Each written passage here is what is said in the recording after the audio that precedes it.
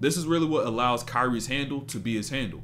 Because when a player is able to do exactly this right here, which is be able to jab, boom, jab again, and then get into a shot and score without needing to dribble, you're scared of his dribble once he does decide to put the ball on the floor.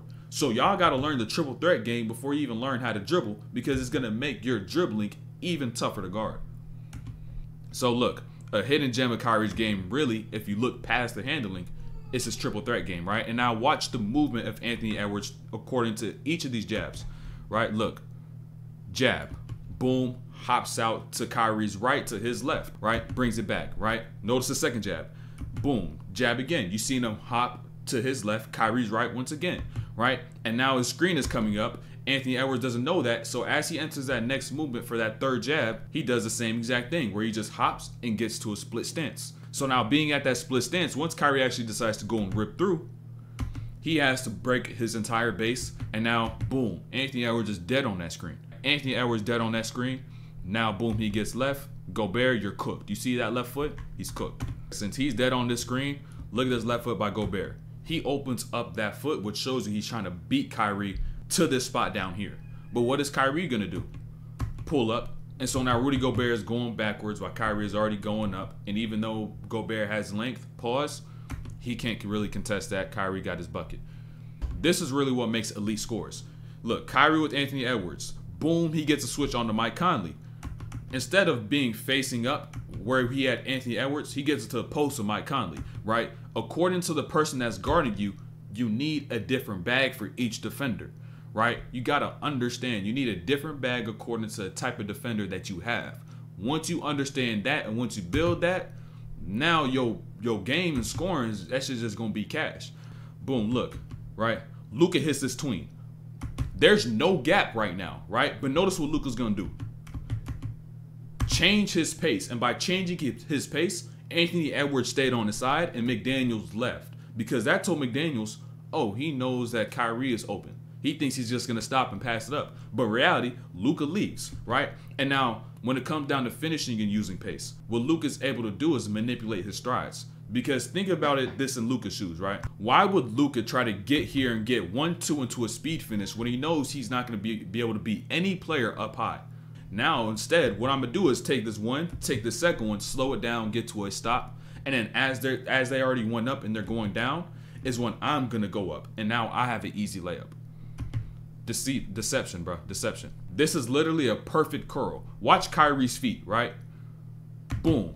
He gets his feet to the same angle as if he's taking a shot off the catch, right? And now notice what he's going to do with his shoulders because he got his feet at such a good angle, right? Notice his shoulders. They don't tilt, they don't shift. And now in doing so, once you get up into that shot, there's less movement. Less movement makes you more efficient. So now once he gets into the air, he could really just concentrate on getting that ball to the rim. Boom, bucket. And once y'all understand this, right? When you're attacking downhill, the key is maintaining pace. If you don't maintain pace, it's going to be tough for you to be able to make these type of reads and put this type of pressure on the defense. Gobert is playing Grant Williams. Grant Williams is going to pop. Gobert is playing a drop. Now Kyrie is attacking, keeping Ant on his backside and not allowing him to get back in front. So Gobert is not relieved of his duty as a drop coverage player. And so once Kyrie gets here and decides to stop and hit this in and out, Gobert is thinking he could cut middle one. Go, he's thinking about Grant Williams as well. His focus is not centered on the one thing. So once he sees a little move like that, he's probably gonna bite because he's not able to fully read what's actually going on. There's so many responsibilities and things going through his head that by the time that shit happened, he's just playing off instinct. It'd be the tiniest things that will deceive a defender. Because notice Kyrie, catch, gets his eyes up for a split second, and now watch what Anthony Edwards is going to do.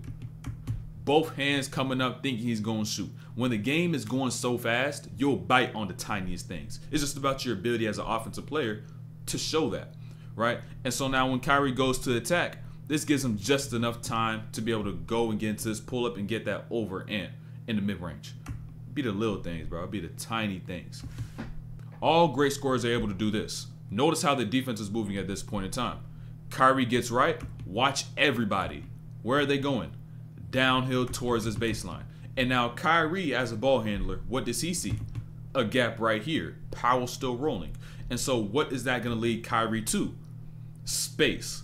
All great scorers are able to find space, regardless of the situation, because that's what's going to get them the open shots. Watch Kyrie's pace on this catch, right? Naz Reid, the only person to make this closeout over here, right? Kyrie catches. A lot of people, as soon as they touch, they'll be getting up into their shot. But this pause right here, at the bottom of his shot, is not what fooled Naz Reid. Because even understand this, you may think that threw off his momentum and his fluidity. No, it didn't, right? Because understand, right? This is how you're able to deceive a catch and shoot. Kyrie catches, and instead of going straight up into a shot with the closeout, he pauses right there at the bottom of his shot. So now, as a defender, you don't think he's gonna go up and shoot because he's paused. But as an offensive player, when you're down low in your base, all you have to do is go up. And now this maintains his shot fluidity. Instead of pausing in between on the way up or on the way down, he pauses while he's down. So now all he has to do is go up and shoot. And he has a late hand by Naz Reid, who's way bigger. Boom, bucket. It's the little things right there, bro. It's the little things. Move. If y'all want to be able to get highlights, you must play with pace. Kyrie has his whole lane right here, but he slows down because he sees Grant Williams is now sealed off his lane to get to that middle right? And so now, boom, gets back to this middle, sees Anthony Edwards now step over, and guess what he does? Boom, Euro step. In real speed, that shit's smooth, right? But at this point in time, the only reason he was able to get that is because he slowed down his pace and allowed himself to read the floor. So now he's able to just get that lay. When you play against skilled players, do not do this, right? That cross body reach because they'll know how to react off that because that reach takes so long to load up. And so instead of going for a cross, which Luka might do in a regular situation, he just goes behind the back, right? And now as a defender, you just have to find your base once again. Now you're not in the right spots that you want. Boom, quick little step back over the top. That's the things you can't do against real skilled players. Pick your reaches wisely. But understand this when it comes down to a spin move, right? The reason why a lot of y'all spin moves don't work is because y'all read late. Notice, notice Luka's head on the spin, right? as soon as before the ball is even getting down to the ground, his eyes are already up to understand what I need to read next. Right? He's not just spinning and trying to go as fast out as he can. So now once he gets here, he's able to play with pace, see what he has, and use that gap that he has between him and Alexander Walker and make more space and get into that step back. Late hand, boom, bucket. Watch Luka Catch, boom, gets into this move. He almost falls. He stumbles. But this is the key to being a good ball handler, right? Now he gets to switch on to McDaniels after having Mike Conley. He's getting right back into his attack. Boom, makes this move. Boom, snatch, loses the ball. Your ability to maintain composure when shit get crazy and shit get wicked. So now what's to end up happening is that since Luka has developed such a great control over the ball, and since he's done such a great job of being able to maintain composure, boom, step back because he just knows where that ball is.